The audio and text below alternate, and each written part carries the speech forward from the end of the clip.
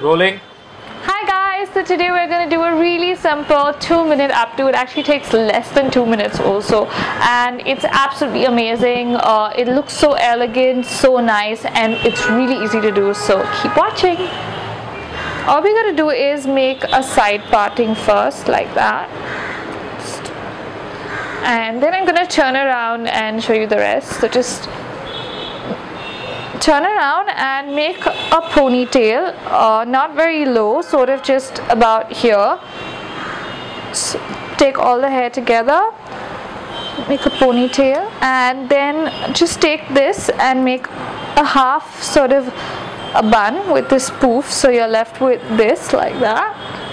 And then now what we're going to do is we are just going to take this section here above the bun make a hole and we're just going to tuck all this in into that hole and start pushing the bun in as well. So just push.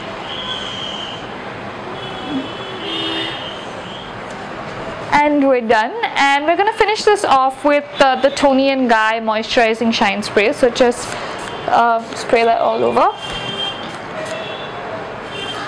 And this is going to help your hairstyle last much longer so this is a really easy uh, two minute updo. It takes literally as you saw less than two minutes. It's really easy to do and it's great for work, for school, for basically you know anytime when you want your hair off and I absolutely love it. So if you like the hairstyle, give it a big thumbs up, comment below, tell me what you thought and obviously subscribe to the channel. See you soon. Bye.